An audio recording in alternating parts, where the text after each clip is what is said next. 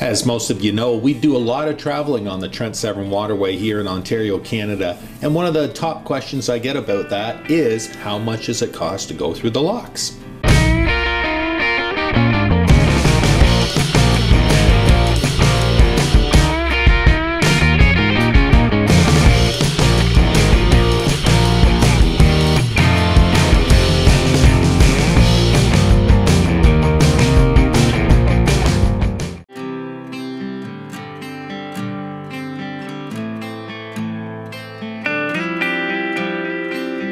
So if you're planning on traveling through the Trent Severn Waterway, you have a number of options for purchasing lock passes.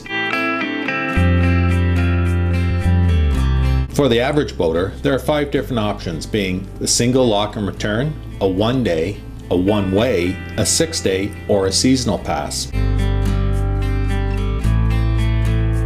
Now keep in mind that all of the fees are calculated by the length of your boat, not by the lock that you're going through. Now, the numbers I'm sharing with you are for the 2020 navigation season, which runs from May to October. A single lock and return will cost you 92 cents a foot for the length of your boat.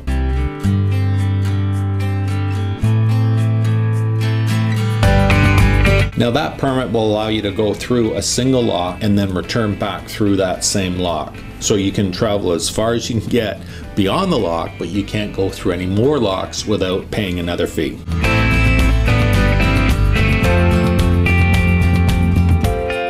Now the one day pass is offered at $1.64 a foot and that will allow you to pass through as many locks as you choose to, but only on that given day.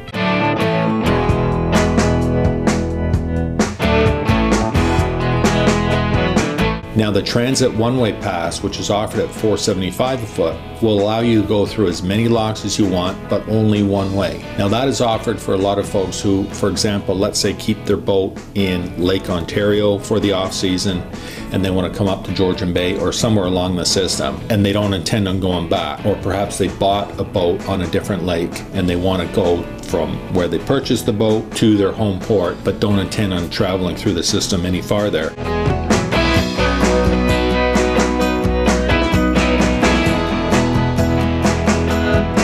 Folks who are doing the Great Loop, that is ideal because most of the loopers will come from Lake Ontario, hit Lock 1 at Trenton, and come all the way through the system to Georgian Bay and carry on without the need to ever go back the same way. Again, there's no time restriction, so it's a nice leisurely one-way trip, right?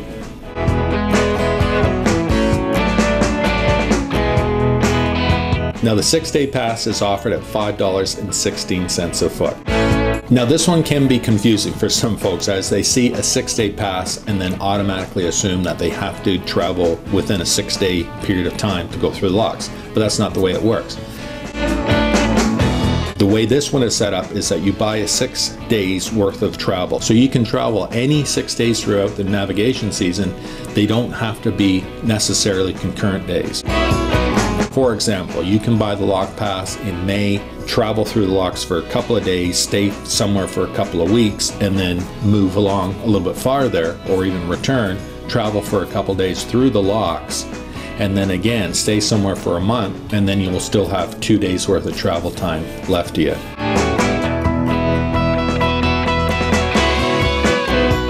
Final one is a seasonal pass, which is offered at $8.99 a foot.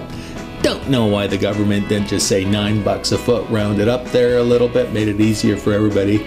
But the seasonal pass would allow one unrestricted travel through the entire Trent Severn Waterway for the whole navigation season.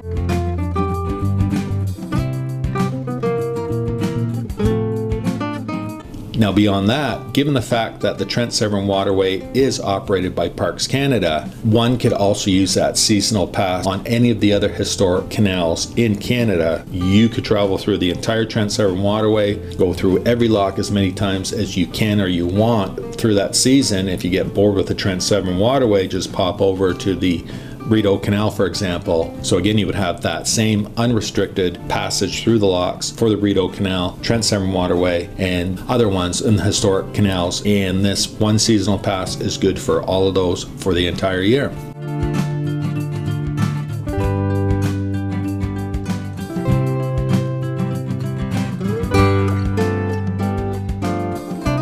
Now, one final thing to keep in mind is that you can upgrade a one day pass to a six day pass or a six day pass to a seasonal pass at any time throughout the season.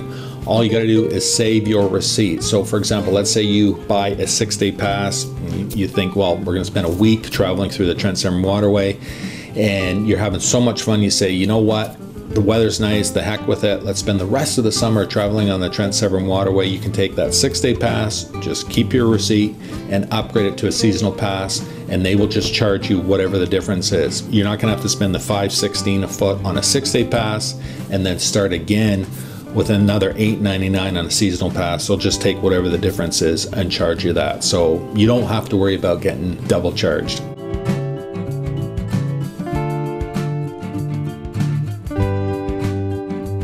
Yeah, so there's all your different options. And again, don't worry about committing to a one day, six days, or even a seasonal pass right away if you're not sure how much you're going to do traveling.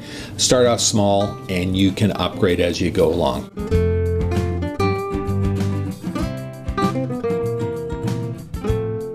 yeah, hopefully we'll see you out there. If you've watched my videos, you know it's a beautiful, beautiful area to travel by boat. That's it for this one, and we'll see you on the next one. Cheers!